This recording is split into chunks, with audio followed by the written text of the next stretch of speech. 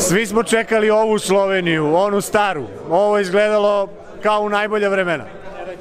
Da, ja mislim da protiv Poljaka ispred 11.000 ljudi možda čak i bolje nego stara Slovenija. E, ne, odlična utakmica, odlična. Baš smo dobro pripremili utakmicu. E, mislim da se i vidjelo da smo baš znali šta će raditi e, u napadu, tako da je bila odbrana super. Dosta smo trčali, ako se može još više, pogotovo drugo polovreme kad smo imali malo više promjena je bilo teško.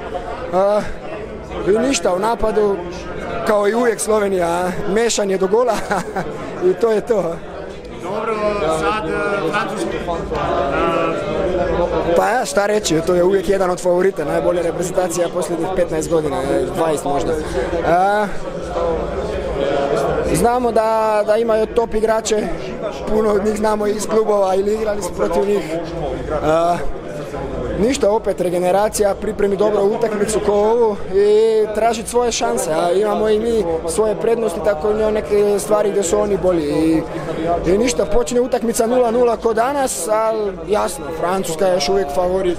Mi smo sada po dugom vremenu odigrali jednu ekstra utakmicu, ne treba poletiti, treba samo vjerovati to što radimo i nastaviti raditi. Ove utakmice vas ozbiljnije shvatati, tako da i ovi iz grupe Možda, da, možda, ja mislim da na kraju kad pogledaš naš roster uvijek se nas može ozbiljno e, shvatiti.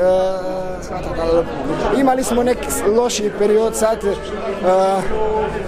možda malo palo i samopouzdanje, pričam na nekoj grupnoj ravni, zbog toga je nekako te, teško bilo se vratiti, čekaš nek dobar rezultat, ja se nadam da je to bio taj rezultat koji nam opet može vratiti to što smo već imali ili možda dati još više nego što smo imali ranije, ali u svakom slučaju treba vjerovati to što kaže Uroš, jer kaže puno stvari i stalno popravlja, eh, puno radimo taktički, puno gledamo video i to su stvari koji može pomoziti igračima, ali sa druge strane treba neko vrijeme. Ja se nadam da je sad došlo to vrijeme pa ćemo to pokazati u nastavku prvenstva.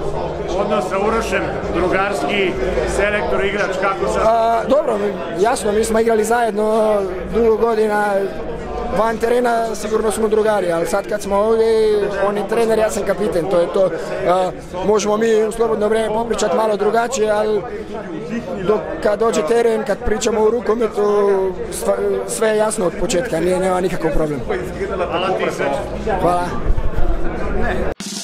Fitogal, konjski balzami, za efektom hlađenja i sa efektom zagrevanja.